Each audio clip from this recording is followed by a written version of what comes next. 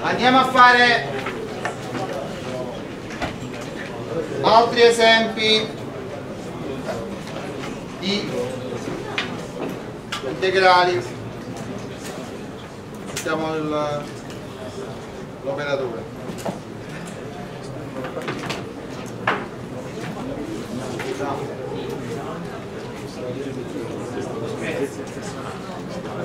No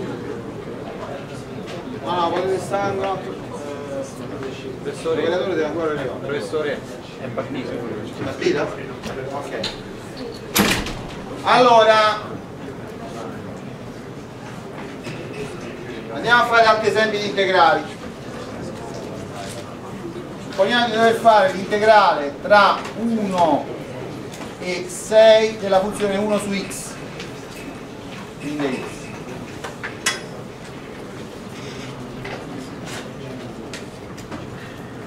Allora, quando fa questo, questo è un altro integrale immediato. Allora, questo fa logaritmo di x valutato a 6, valutato a 1, quindi fa logaritmo 6. Ok? Oh.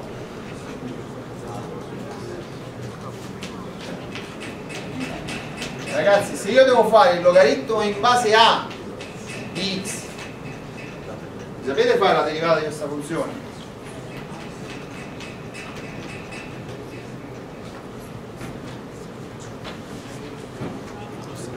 Ricordatevi sempre, quando fate il logaritmo in base a di b, questo è uguale al logaritmo naturale di b fratto il logaritmo naturale di a.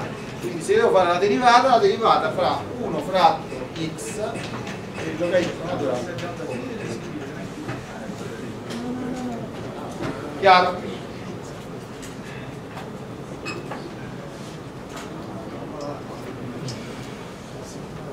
Non è, non è difficile.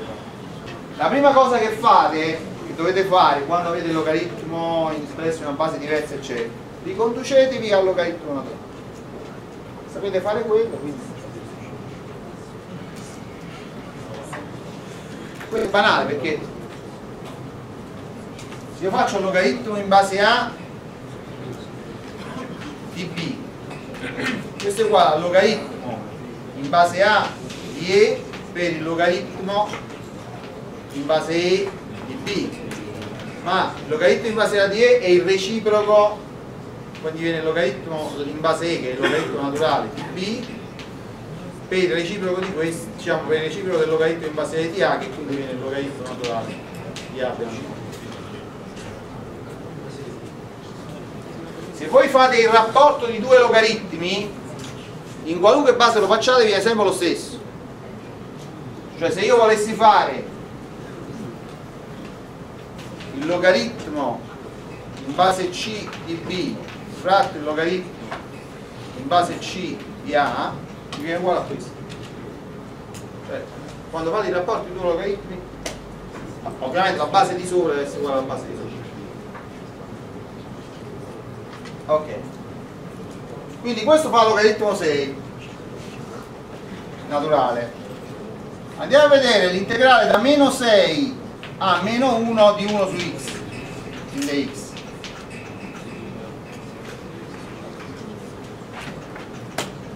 Quando deve fare questo integrale?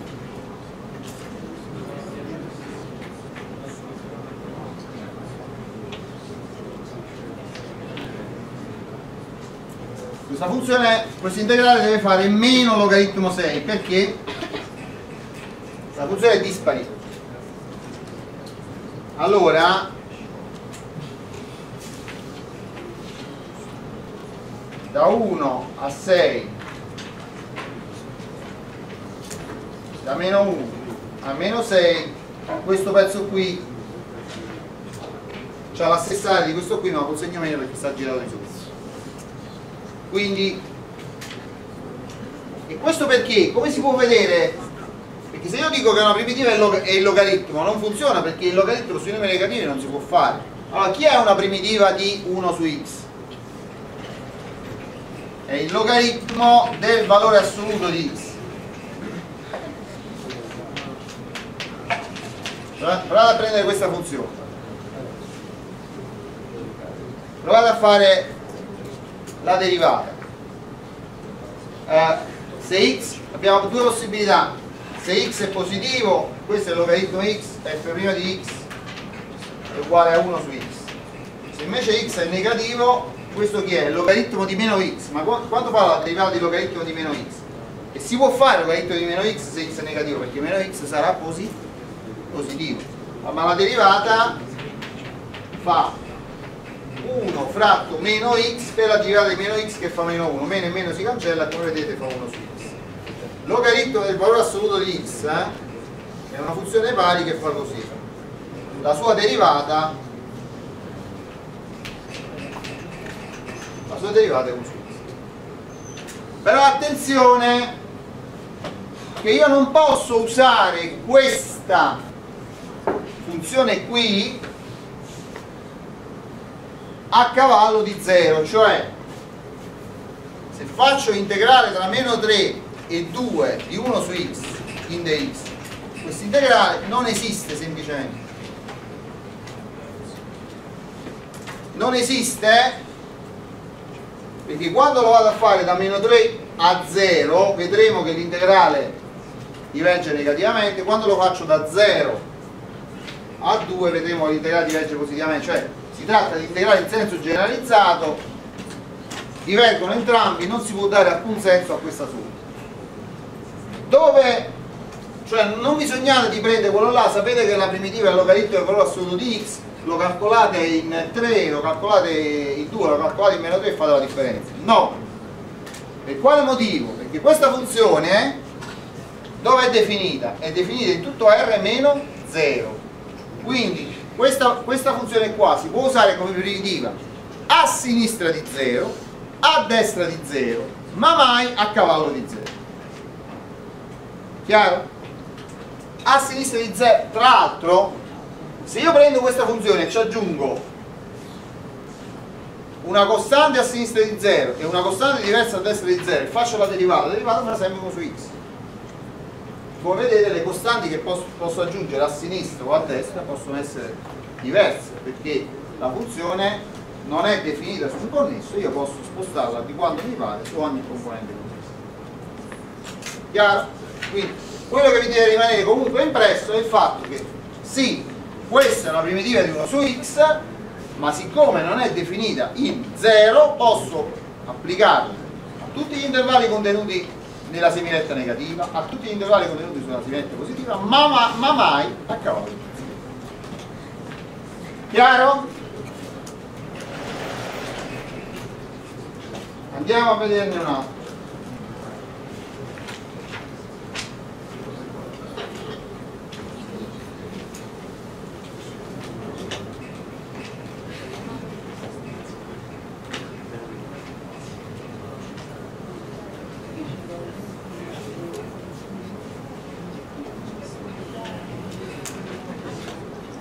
andiamo.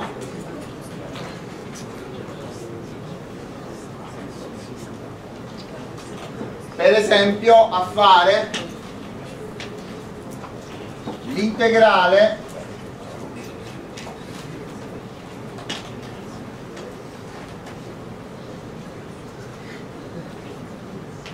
del logaritmo.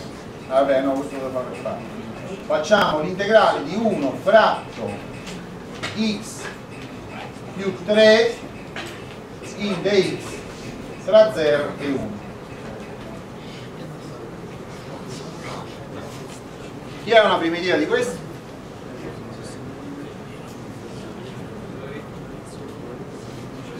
è logaritmo di x più 3 valutato tra 0 1 quindi è logaritmo 4 meno logaritmo proviamo a fare integrale sempre tra 0 e 1 di 1 fratto 3x più 1 stavolta in dx chiaro la primitiva è un terzo logaritmo di 3x sempre valutato da 0 quindi stavolta avete un terzo. Logaritmo 6 meno. Logaritmo chiaro? quindi se voglio fare supponiamo per esempio voglio fare integrale di 1 fratto ax più b quindi x chi è questo? è logaritmo eh, di del valore assoluto di ax più b eh, fratto per 1 su a oh, e non confonderci con i segni, con i segni eh, supponiamo che A e B. Oh, però questa cosa qui eh, questa cosa qui eh, dovrebbe essere corretto con eh, però una cosa è per x minore di meno b su a o per x maggiore di meno b su a cioè la radice di questo ax più b uguale a 0 è meno b su a quindi potete usare a sinistra oppure a destra ma mai a cavallo ok?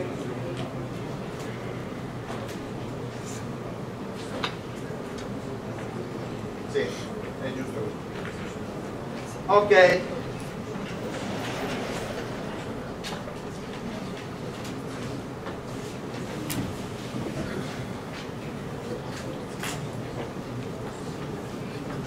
Adesso andiamo a introdurre l'integrazione per parti, poi la ripetiamo tante volte. L'integrazione per parti nasce da una osservazione molto semplice, cioè dalla formula di derivazione del prodotto. Allora, voi supponete di fare, allora, supponete che f grande primo sia uguale a f piccolo, g grande primo sia uguale a g piccolo. Allora, come si fa la derivata del prodotto di f grande per g grande?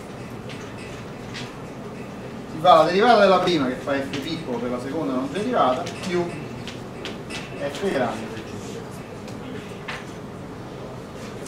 Ok? Adesso prendete queste due questa uguaglianza e integrate tra A e B. Supponete che f piccolo e g piccolo siano funzioni continue e quindi che f grande e g grande siano due funzioni C1. Quindi abbiamo, facciamo integrare tra A e B di f grande di f grande per g grande. Primo di x in x. Questo è uguale all'integrale tra A e B di f piccolo di x g grande di x più l'integrale tra a e b di grande di x g piccolo di x di x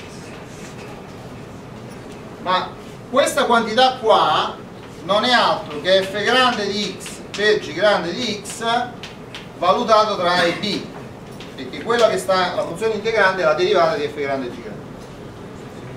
Riscrivendo questa formula in un altro diciamo, ordine, la possiamo riscrivere così, cioè possiamo scrivere che l'integrale tra a e b di f piccolo di x per g grande di x in dx è uguale a f grande di x per g grande di x valutato tra A e B meno l'integrale di f grande di x per g piccolo di x in dx sempre tra A e la corrispondente di questa formula di integrazione per parti per l'integrale indefinito è la formula integrale di f piccolo di x di grande di x in dx uguale f grande per g grande meno l'integrale di f grande di g piccolo di x in dx qui non serve mettere allora questo è l'integrale definito però quando mettiamo la primitiva questa primitiva qua non serve mettere nessuna costante arbitraria perché c'è ancora un integrale da fare. La, la costante arbitraria si mette alla fine del- di quando si fa l'ultimo integrale. Stiamo parlando perché è inutile metterne più di una no? perché la somma di due costanti arbitrarie non ha una costante arbitraria Ok, quindi questa è la formula per quanto riguarda l'integrale indefinito questa è la formula per quanto riguarda l'integrale definito oh, questa formula ha adesso la applicheremo in vari esalzi a vari esercizi. Però ha un problema che è un problema di memorizzazione. Voi dovete trovare un modo per memorizzarla per memorizzarla che più vi aggradi. Io la ricordo in questo modo f piccolo è la derivata di f grande. G piccolo è la derivata di g grande. Allora che cosa succede? voi spezzate la funzione integrale in due pezzi. Uno sale. Cioè di uno dovete fare la primitiva. Poi fate il prodotto e lo valuterete meno quello di pezzo di prima come prima sale ma stavolta l'altro scende. Cioè in questa fate la primitiva f grande e dell'altra fate la derivata adesso faremo degli esempi sarà molto più semplice di questo eh, quando è che serve? Supponiamo di dover fare l'integrale della funzione logaritmo in x per esempio tra 1 e 2 allora io non conosco direttamente una funzione che per derivata mi dia il logaritmo però cosa posso fare? posso guardare questo prodotto come 1 per il logaritmo ok? allora cosa faccio? 1 lo tratto come la f piccolo quindi qua mi viene x logaritmo di x valutato tra 1 e 2 eh? meno l'integrale tra 1 e 2 di x per la derivata del logaritmo che fa 1 su x.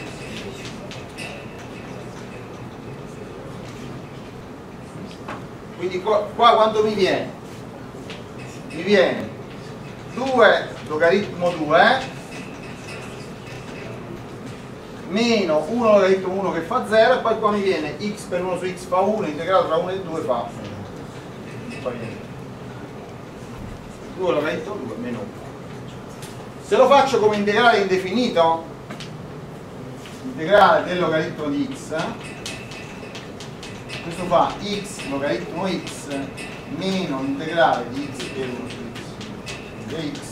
Questo viene x logaritmo x meno x più c perché qua viene 1 l'integrale di 1 fa x più la costante arbitraria adesso qua si può fare facilmente la prova perché voi prendete questa funzione eh, chiamiamola un attimo f grande. Se questa è f grande la derivata di questa deve fare questo.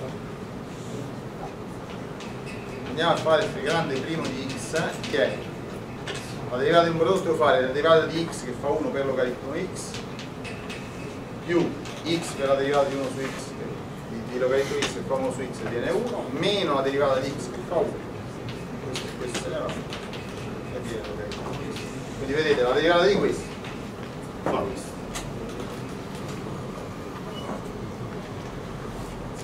Ok?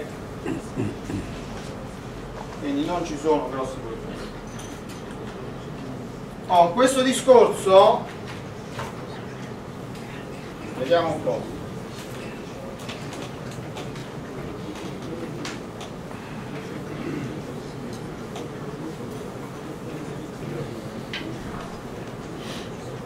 andiamo per esempio a fare la derivata cioè l'integrale scusate dell'arco tangente di x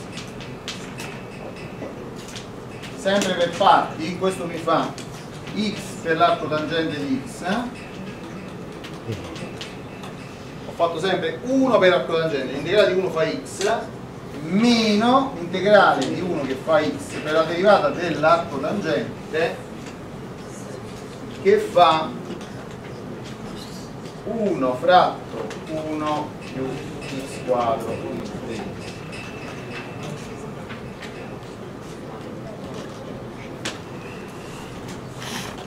O questo chi è?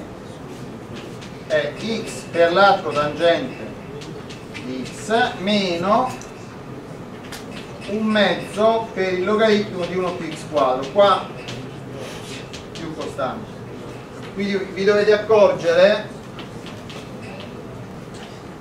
che 2x è la derivata di x quadro e allora se voi fate la derivata logaritmo di 1 più x quadro fa 1 fratto 1 più x quadro per la derivata di x quadro che fa 2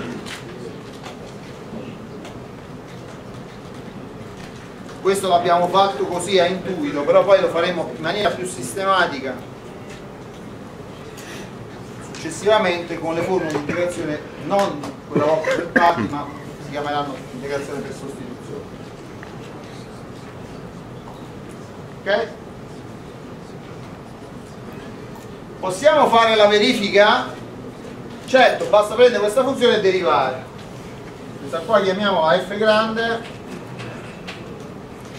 quando vado a fare la, derivata di f grande chi viene? viene la derivata di x fa 1 quindi viene arco tangente di x più x per la derivata dell'arco tangente che fa 1 fratto 1 più x quadro per 2x meno eh, scusate no. Più x per la derivata di quell'altro che fa 1 fratto 1 più x quadro e basta. Poi meno un mezzo per la derivata del logaritmo che fa 1 fratto 1 più x quadro. Stavolta sì per 2 perché devo fare la derivata della funzione la derivata di c fa 0 quindi adesso quando semplificate semplificate riconoscete che qui c'è x fratto 1 più x quadro qua c'è meno x fratto 1 più x quadro. Quindi questo se ne va con questo quindi alla fine vi rimane l'arco tangente e quindi effettivamente avete l'integrale è giusto? È chiaro? ok. Ah,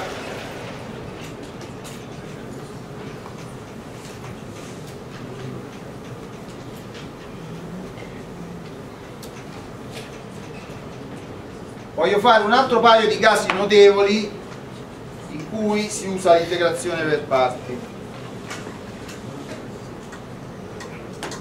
allora cominciamo con un esercizio che non c'entra con l'integrazione per parti cominciamo a fare l'integrale tra 0 e più infinito di e alla meno x in dx anche se gli integrali generalizzati non l'abbiamo ancora fatto però questo esercizio è molto simile a quello che abbiamo fatto prima. Chi è una primitiva di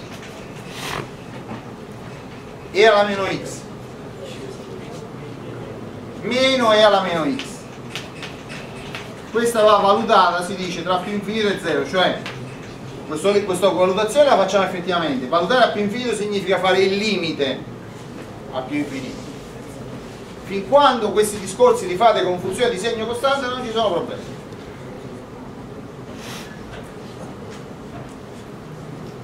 Ok allora quando lo vado a valutare a più infinito questa funzione a quanto tende? a 0 perché alla meno infinito col meno col più comunque tende a 0 invece in 0 questa funzione vale meno 1 col meno davanti questo integrale fa 1 quindi questo è un integrale di riferimento importante. L'integrale della funzione e alla meno x eh, su tutta la semiretta positiva fa 1 ok?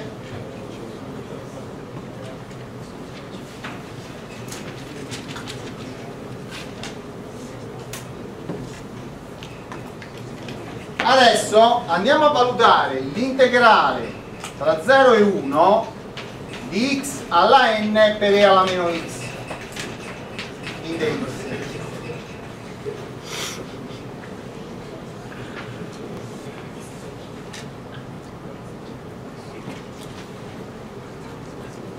allora come si fa?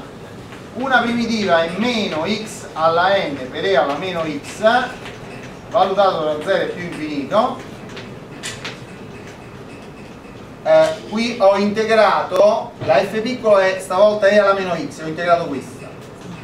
Potevo fare meno che con meno fa più integrare tra 0 e più infinito di n per x alla n meno 1 per e alla meno x. Cioè questa qua è quella che ho chiamato f piccolo questa qua è quella che ho chiamato g grande. Allora vedete integrale di f piccolo f grande meno e alla meno x.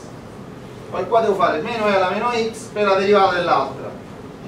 Ma la derivata dell'altra è n per x alla n meno 1 poi c'è il meno davanti quindi meno e meno si cancella e devo ancora integrare tra 0 e più Ehi.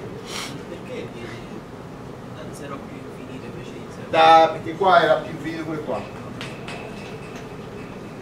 Sono sbagliato a volevo calcolare questo. Ora andiamo a fare questa valutazione qua. A 0 c'è la x quindi vale 0 a infinito è vero che questo va più infinito ma è vero che questo va meno infinito?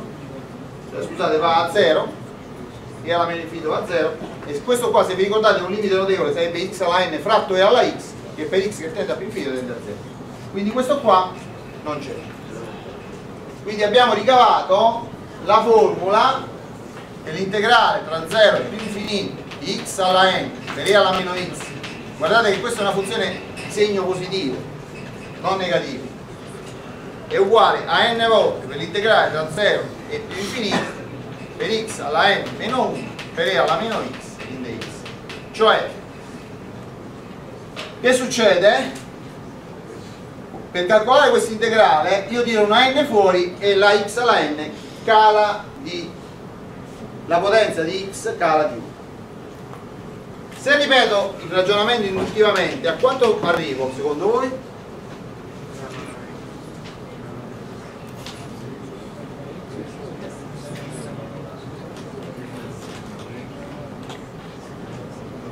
quanto fa l'integrale di x alla n per alla meno x? Allora, vediamo un po' proviamo a farlo con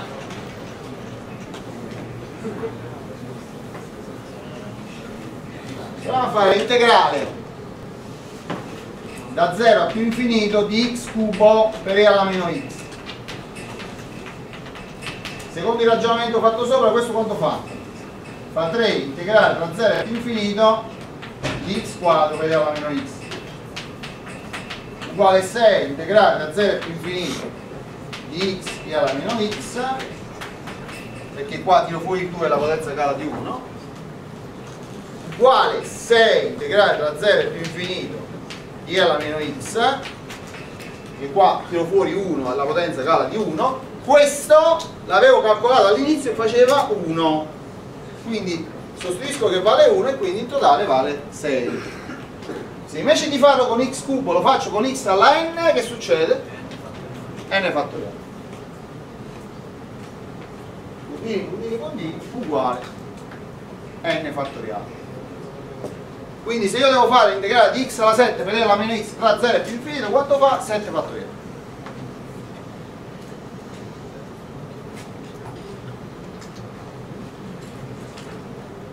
ok bene. Andiamo a fare un altro integrale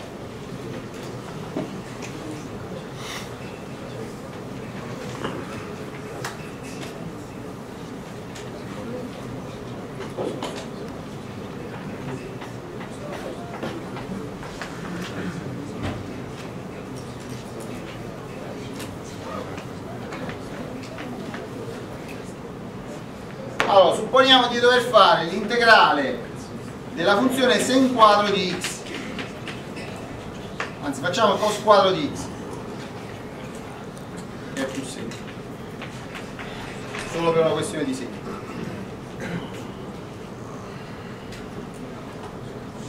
allora questo chi è? allora cos quadro posso scrivere come coseno per coseno. Proviamo a fare una integrazione per parti allora integra per coseno viene seno. Mi viene sen x cosen x.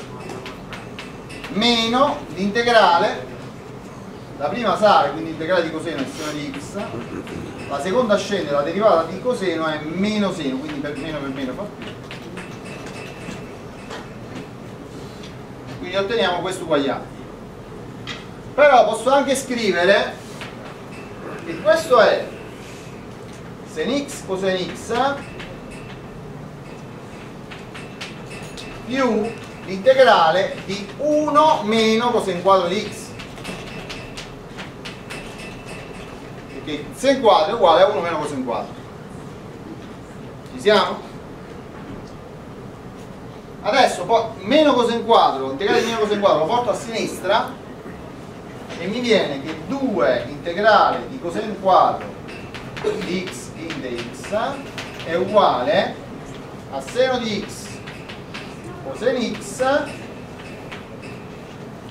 più l'integrale di 1 fa x più la solita costante arbitraria quindi dividendo per 2 l'integrale di coseno quadro di x in dx fa un mezzo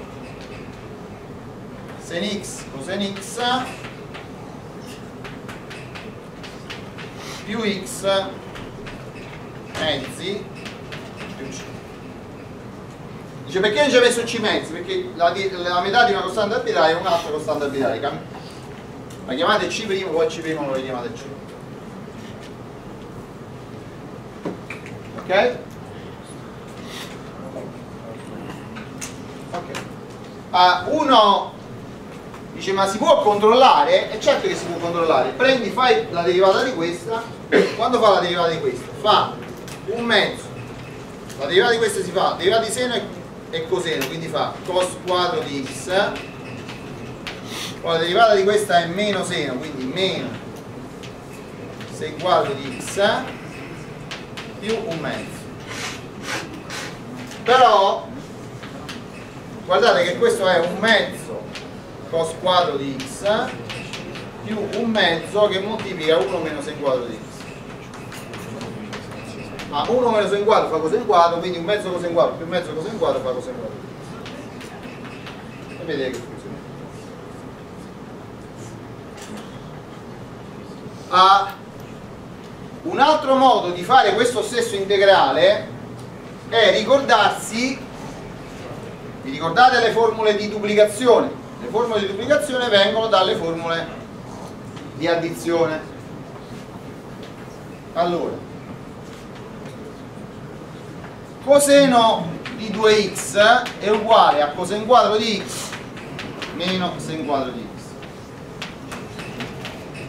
Se preferite però, questo lo posso scrivere anche così, come 2 coseno di 2 coseno quadro di x meno 1 perché aggiungendo eh, diciamo aggiungendo e sottraendo coseno quadro qua viene 2 coseno quadro qua viene meno sen quadro meno coseno quadro che fa 1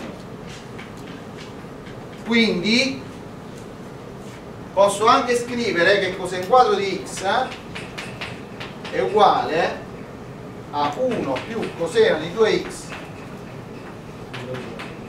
mezzi quindi l'integrale di coseno quadro di x quando deve fare? deve fare un mezzo x che è l'integrale di un mezzo più seno di 2x quarti perché quando faccio la derivata di seno di 2x viene 2 coseno di 2x allora per, avere, per uscire un mezzo sotto ci devo mettere 4 chiaro? più c. Cioè, ma saranno lo stesso? Certo perché se vi ricordate adesso la formula di duplicazione del seno seno di 2x è uguale a 2 sen x coseno x. 2 sen x coseno x quarti fa un mezzo sen x coseno x. E vedete che più?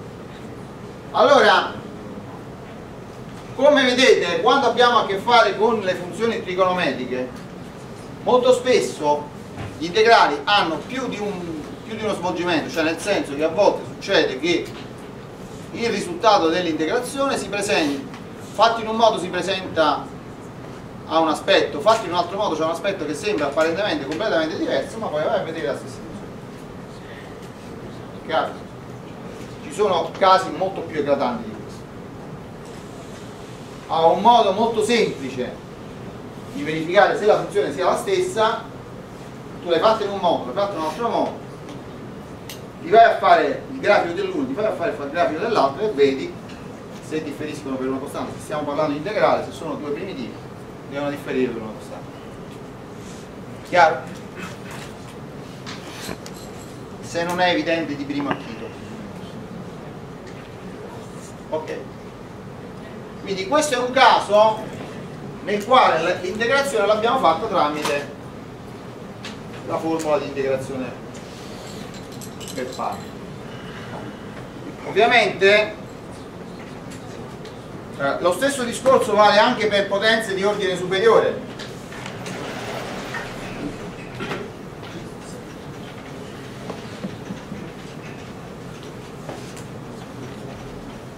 Oppure per, per esempio, se voglio fare l'integrale di x per seno di x. Beh qua si applica un meccanismo molto simile a quello che abbiamo usato qua. Cioè cosa faccio? faccio la primitiva di seno che è meno x coseno x la primitiva di seno è meno, meno coseno moltiplicata per l'altra che ho lasciato stare più l'integrale di coseno x devo fare la primitiva che viene meno coseno per la derivata dell'altra che fa 1 con il meno davanti si cancella quindi qua mi viene meno x coseno x la primitiva di coseno è sen x costante Uh, ripeto, il controllo, soprattutto degli integrali indefiniti, è estremamente semplice perché si tratta di prendere questa funzione, derivare e controllare che sia uguale alla funzione integrale. Allora, quando noi andiamo a derivare, poi viene meno coseno di x più x sen x più coseno x questo e questo se ne va e rimane x sen x. Quindi come vedete e se avessi dovuto integrare, integrare x quadro per seno di se avessi dovuto integrare x quadro per seno di x se avessi dovuto integrare x quadro per seno di x questo avrebbe avrei ottenuto meno x quadro coseno di x più 2 integrale di x per, se, per coseno di x. Uguale meno x quadro coseno di x più 2x seno di x meno 2 integrale di seno di x. Uguale meno quadro coseno di x più 2x sen x meno anzi più 2 coseno di x più c. Facciamo il controllo? Prendiamo questa funzione la deriviamo allora quando questa è la derivata di un prodotto fa più x quadro per seno di x meno 2x coseno di x qua mi viene più 2x coseno di x più 2 seno di x meno 2 seno di x uh, e basta. Questo questo questo questo ne va rimane squadro quindi come vedete qui sfruttiamo il fatto che allora, quando una funzione eh, avete una funzione di tipo esponenziale, di tipo eh, seno, coseno, che quando andate a integrare o derivare rimane più o meno dello stesso tipo, oppure, vabbè, nel caso del seno, la derivata di seno e coseno, la derivata di coseno e meno seno si scambiano semplicemente di tipologia, allora integrando per parti, se l'altra è un polinomio, l'altra la derivata, mano a mano prima o poi arriverete a un pezzo dove le derivate non ci stanno più, perché la derivata di un polinomio a un certo punto fa 0, le derivate successive. E quindi in questo modo possiamo integrare qualunque polinomio moltiplicato per seno di x o per coseno di x. Se voi prendete seno di x moltiplicato per un polinomio, integrando per parti si riesce a ottenere qualunque integrale di un polinomio per di x o di un polinomio. Allora facciamo un attimo il riepilogo. Vi vedo stanchi più di me, quindi allora che abbiamo fatto oggi? Abbiamo detto per fare l'integrale vale la definizione che abbiamo dato ieri, ma certe volte, eh, e solo certe volte, perché in generale non è che sempre si riesca a fare, per fare l'integrale di una funzione f piccolo basta trovare una, una sua primitiva f grande e valutare se l'integrale è definito tra a e b, valutare questa primitiva tra b ed a. Questo è l'oggetto del teorema fondamentale del calcolo integrale. Abbiamo dato degli esempi in cui non, questo non si, non si, riesce a fare, però abbiamo fatto, poi cominciato a fare tutta una tabella di integrali immediati rileggendo la tabella delle derivate al contrario e poi abbiamo cominciato a usare qualche formula, qualche eh, diciamo artificio, per esempio la formula di integrazione per parti, per cercare di integrare di trovare la primitiva in quanti più casi è possibile. La prossima volta, domani sistemiamo, diciamo giovedì sistemiamo un po' di teoria, la prossima volta poi che facciamo esercizi eh, faremo diciamo, il principale strumento eh, di integrazione che sarà quello per sostituire.